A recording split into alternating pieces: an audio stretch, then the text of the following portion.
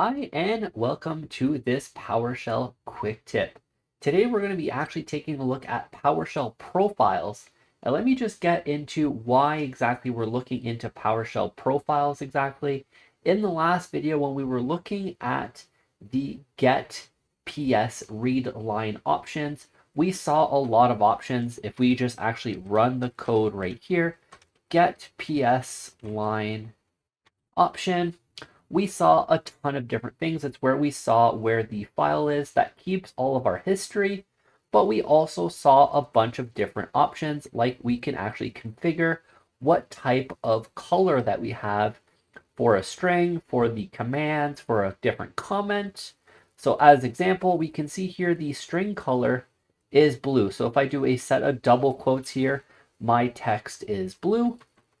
And I did hint towards that you can actually change this now, if you've actually tried this since that video, if you go ahead and do a set PS read line option, and then you go colors, and then we go ahead and we're just going to do a object here, and we're going to change our color of our string to, let's say, we're going to change that to a pound FFA 500 which is the RGB code for orange. Now, if we go ahead and we run this, we're going to see now if I do a string, it is now orange. So that's perfectly fine. If we do a get PS read line option, the amazing thing is it automatically turns it into the code that it actually understands for the color, but we can see that it's actually changed to orange. So everything seems nice and dandy. But if we go ahead and we close this PowerShell session and we go ahead and we open up a new one, let me just start up a new one here and re-zoom in.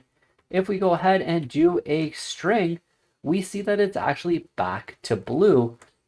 And you might be wondering why exactly that is. And that's actually because PowerShell is constantly loading a profile.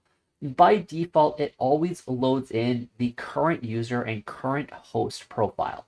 So in general, there is four types of profiles in PowerShell. So let's go ahead and let's just take a quick look at what kind of profiles we have. So we have our basic profile here, which if we just do dollar sign profile, we're going to get a path here, which is our profile. Now this is the current user, current host profile. This is the profile that gets ran last. This is the one that will supersede any settings that you set in the other profiles. But we can actually see here that we do have a profile dot current user current host. Now what this means, it means it's for the current user profile that you're using. So in my case, I'm using the administrator account. That is my user. And the current host is actually the PowerShell 7 terminal. So here we can actually see and this is going to be the current user and current host is going to be this profile right here. It is the default profile, the last one that gets run. So it's the most important one really. And if we actually go into Visual Studio code, we will actually see if I type in profile here, we will actually see, I can't zoom in here unfortunately, but you will see right here that it actually points to a different profile. And that's because VS Code is its own host. So the current host will actually depend on what application you're using to run your PowerShell. So just remember that.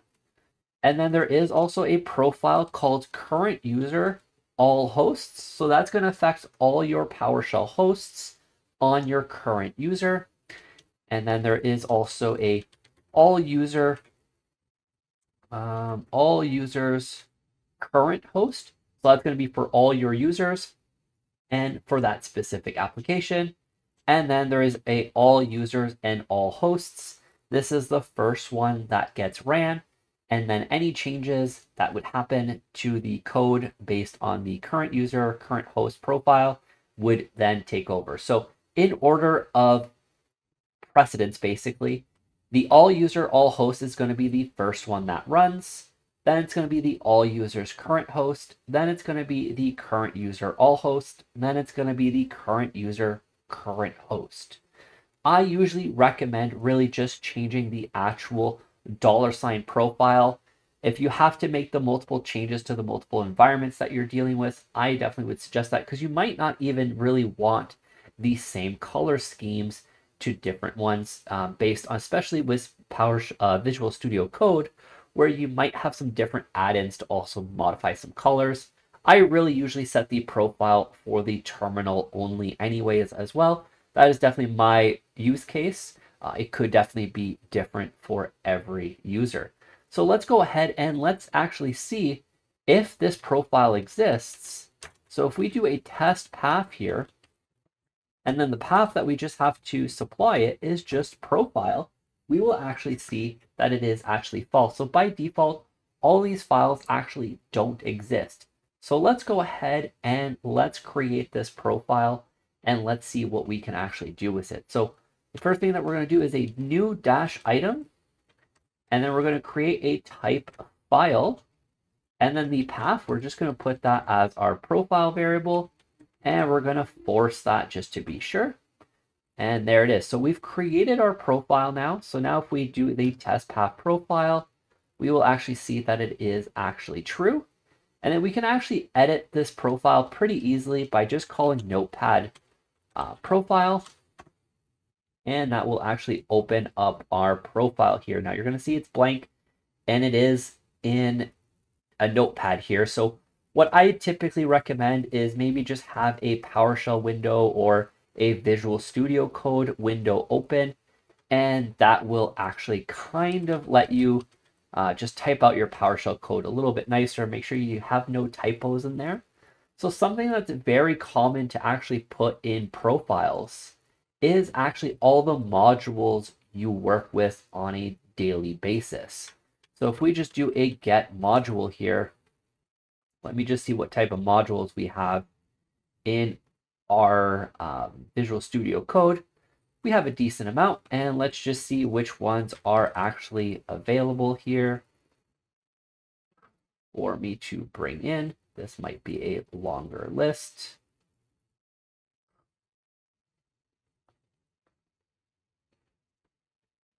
There it is. So we have a whole bunch uh, now you can definitely have even more as well, depending on how many you've actually uh, installed as well.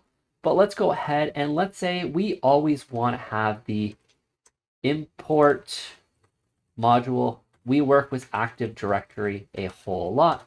So let's go ahead and let's import module Active Directory here. And let's just go ahead and let me just zoom in here. Perfect. Oh, I might have done a bit too many times here. Let me just reduce that. There you go. So we're going to do the import module Active Directory. And let's just test it out here. And let's really show that all this code actually executes. We're going to do a write output. Welcome to Jacked Programmers PowerShell terminal.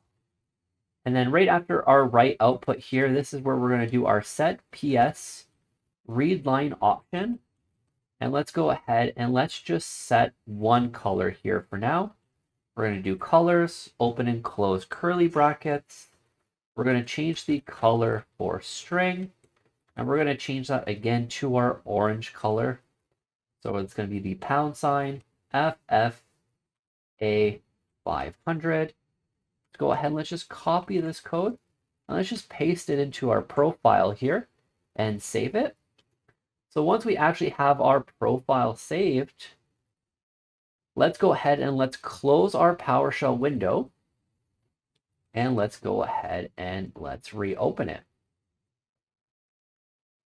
Now you're going to notice it. So here it is. It just loaded in the Active Directory. You saw it load in.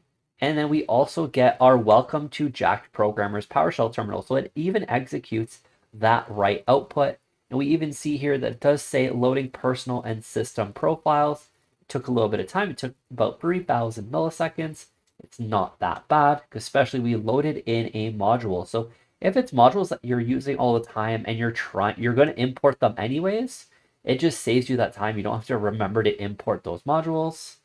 And then what we can actually even do as well is then do a string and we will notice it is already orange. So that is great.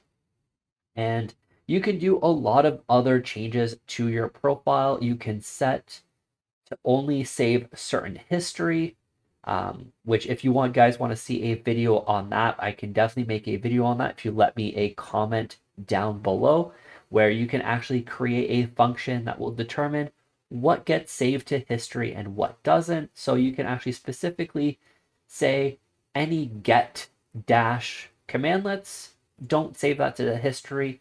I don't really need to know, but anything that otherwise, make sure you write it to the history because that's actually a change. We don't necessarily really care about gets because we will get is not a very harmful commandlet, but everything else might harm the system. So we actually want to save that to the history.